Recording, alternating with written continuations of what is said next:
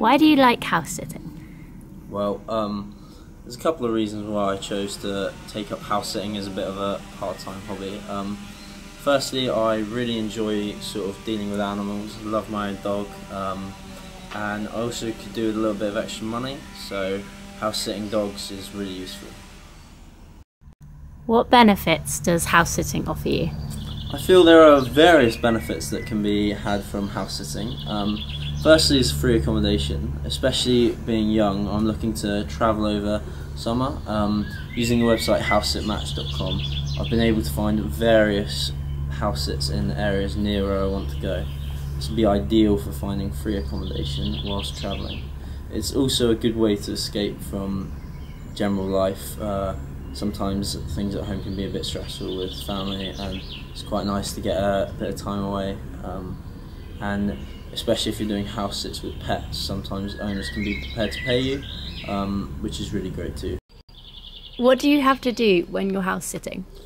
Well it depends on the house sit. What, what I was doing recently was um, a local house sit where there were dogs um, and that involved sort of looking after the dogs, feeding them, taking them for walks in the local woods and through fields um, and generally clearing up and making sure the house is in good order.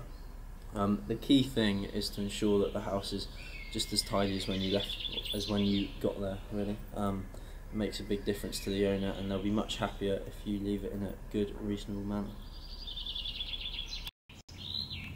How easy is it to use the website? HouseSitMatch.com is a very user-friendly website. I found that looking, being able to look at the house sits before you sign up means you can decide whether to invest in the company or not um, before realizing that you have plenty of options available to you. Um, signing up's easy, uh, it can be done, and for just a small fee of £35 a year, you can register, um, which is exceptionally good value, even if you're not getting paid. Just because if you think about the cost of renting a hotel for a night, it would easily cover that.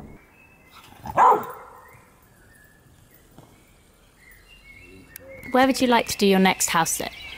Well, um, considering I've been in full-time education up to now, um, I've recently finished my exams and now have a lot of opportunity to use my time to travel. Um, I've identified a lot of house sits in Australia and Southern Europe from the housesitmatch.com website and I think it would be a brilliant place to go to to explore different areas of the world especially in Australia, where transport alone will be extremely expensive. So making the savings on accommodation would be really useful.